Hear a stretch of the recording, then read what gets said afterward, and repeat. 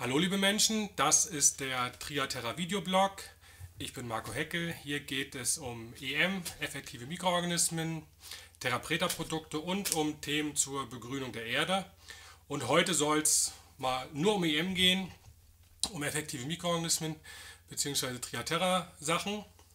Und zwar um die Frage, was mache ich mit EM im Frühling? Wann kann ich damit anfangen im Teich? Schadet Frost?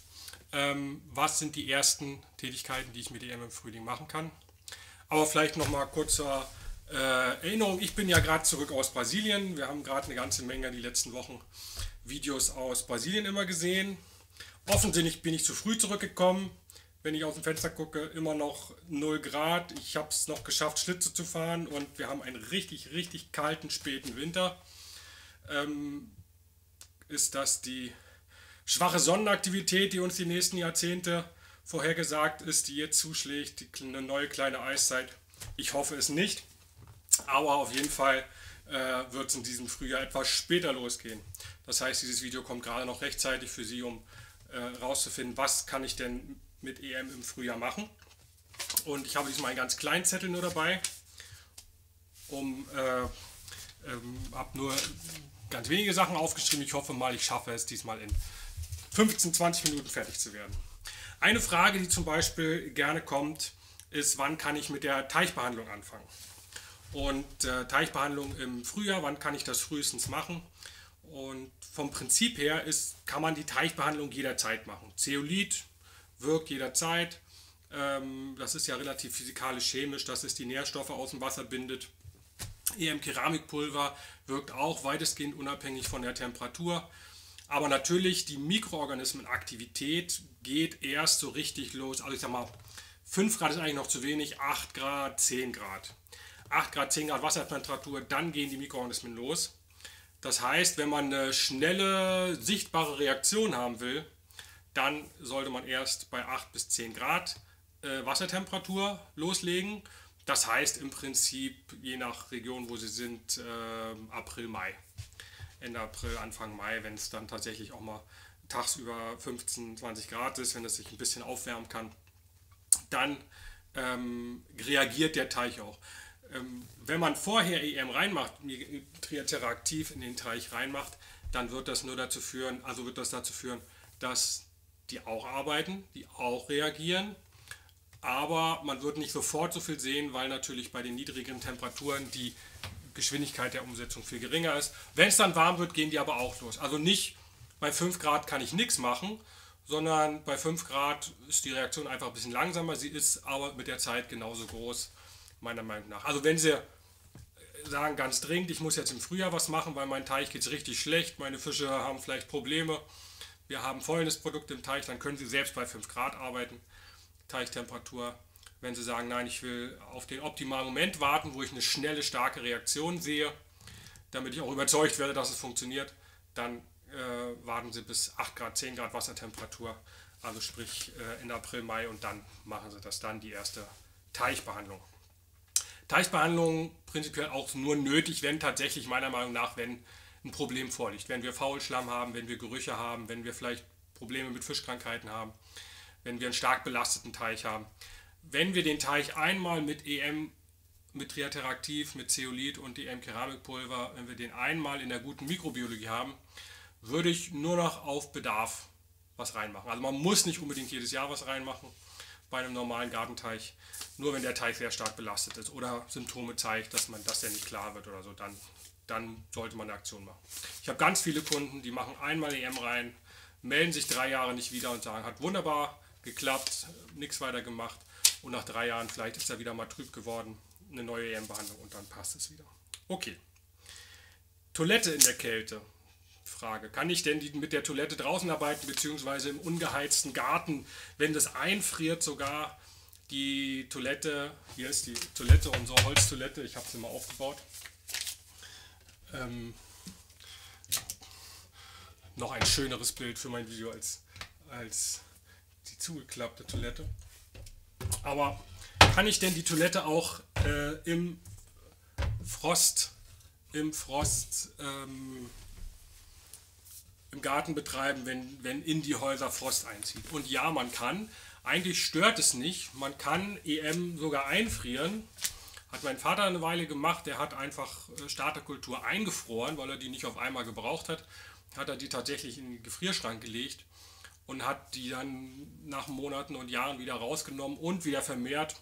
Hat wunderbar funktioniert. pH-Wert hat gestimmt, Hefe war da, hat äh, richtig geschmeckt. Also sprich, die EMs, effektiv Mikroorganismen, Milchsäurebakterien, Hefen, Photosynthesebakterien kann man einfrieren.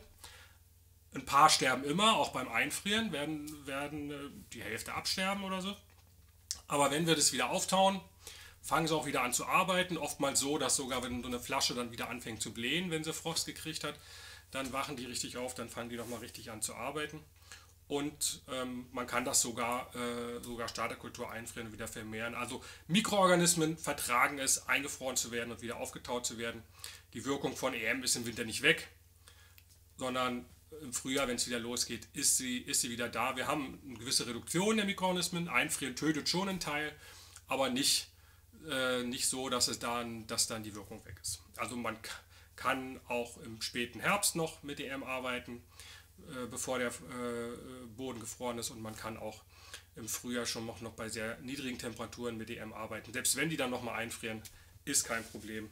Die Wirkung ist trotzdem da.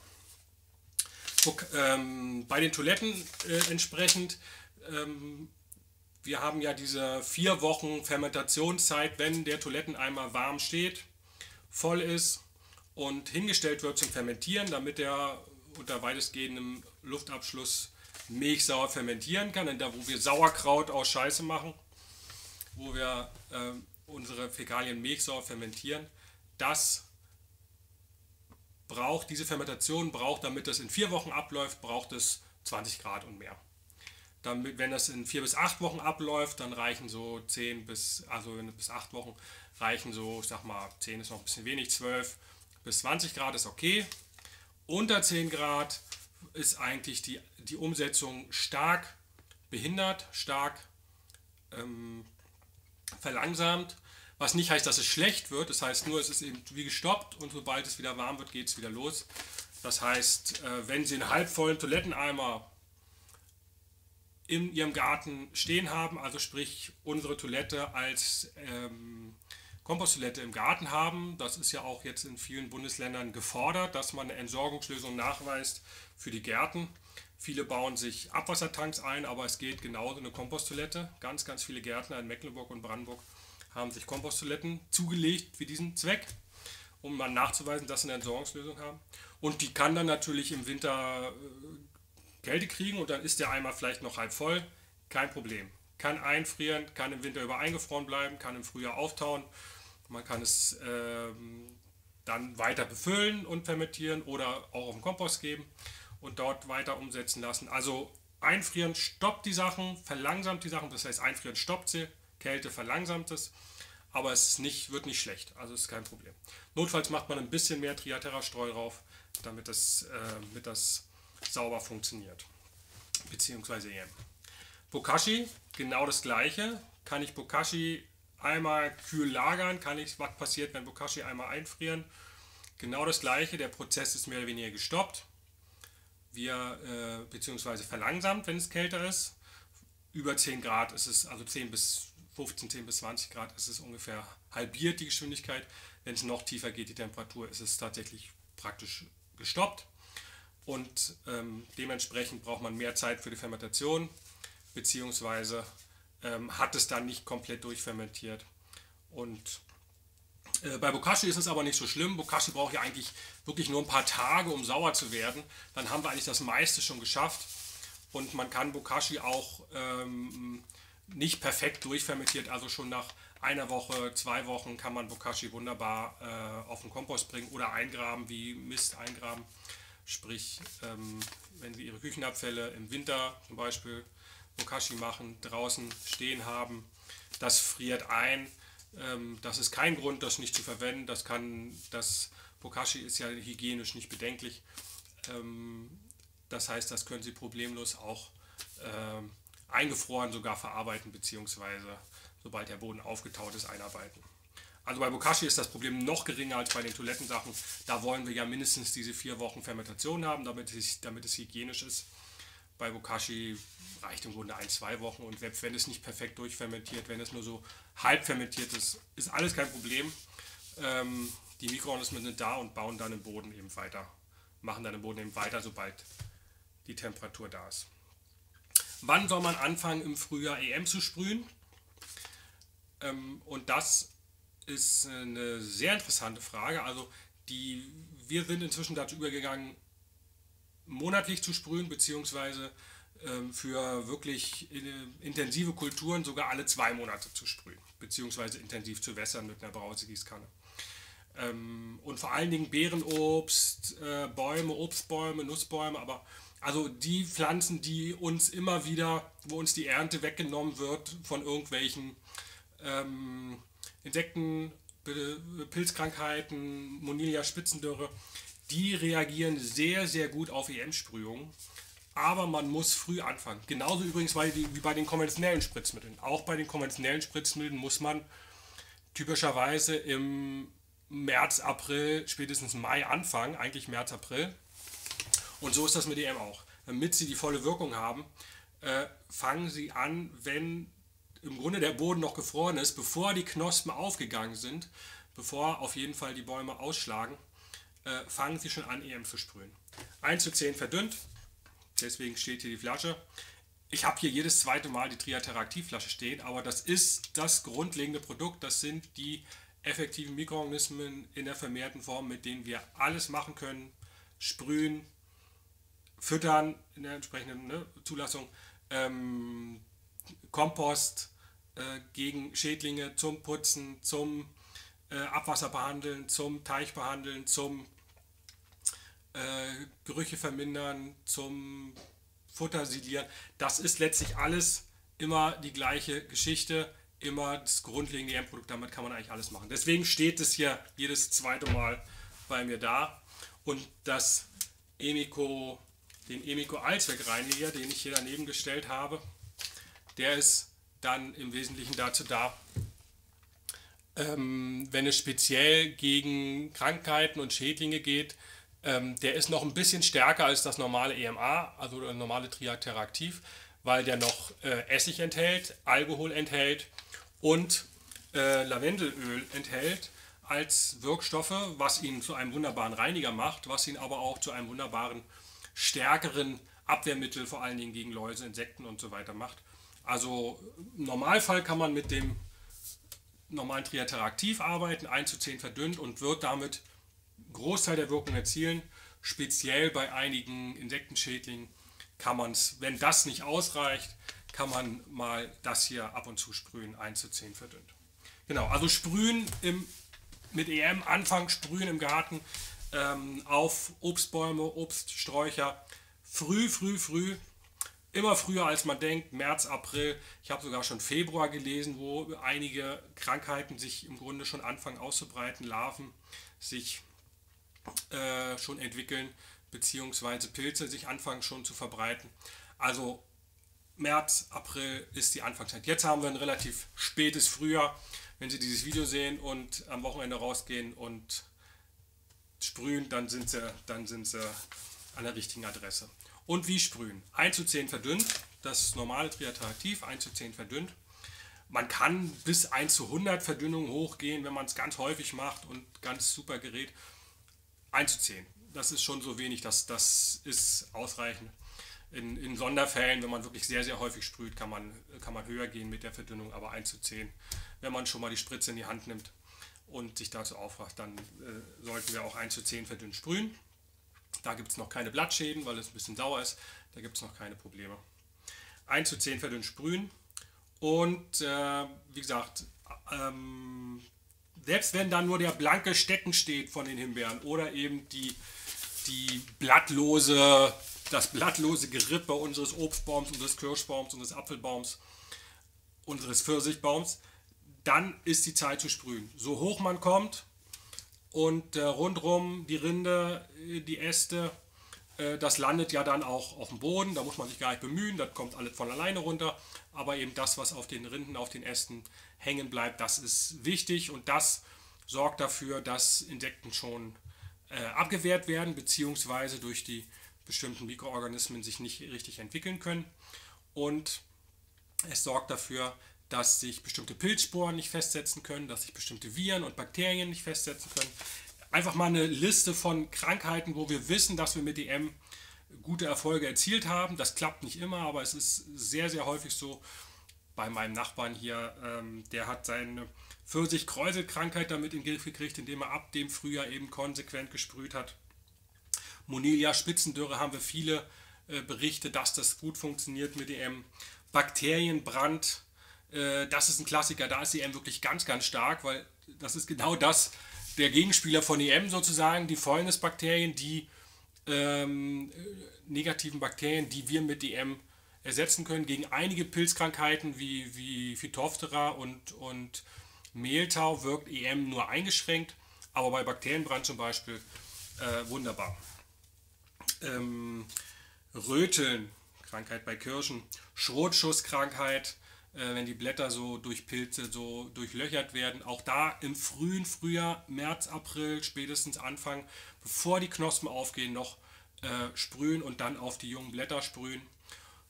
Sprühen übrigens immer nicht bei Sonnenschein, nicht bei Trockenheit, sondern möglichst bei bedecktem Himmel, abends, frühmorgens, wenn es ein bisschen feuchter ist. Also, äh, dass, dass wir nicht den Effekt haben, dass dieses, äh, die Sprühtröpfchen, äh, die auf dem Blatt sind, wie eine Linse wirken und das verbrennen. Ähm, auch die Mikroorganismen mögen es nicht, in der Sonne zu bleiben. Die wollen sich quasi feucht verteilen und einnisten und verstecken vor der Sonne, weil die Sonne die verbrennt. Dementsprechend, also bei bedecktem Himmel, äh, Feuchtigkeit, abends, ähm, eventuell früh, früh morgens äh, sprühen, wobei man wahrscheinlich lieber am, am Nachmittag und Abend sprüht, wenn es ein bisschen bedeckt ist. Genau, also das ist die Zeit, um EM zu sprühen. Oft anders als bei konventionellen Spritzmitteln, wo es heißt, sprühen Sie bei Trockenheit, da wirkt das am besten, da wird das nicht. Nein, wir wollen die Feuchtigkeit. Wenn sie richtig hart sind, gehen Sie raus, wenn es in Strömen regnet und sprühen pur EM, äh, dann verdünnt sich das von alleine und verteilt sich am besten. Ähm, das habe ich, haben wir früher auch noch ab und zu gemacht.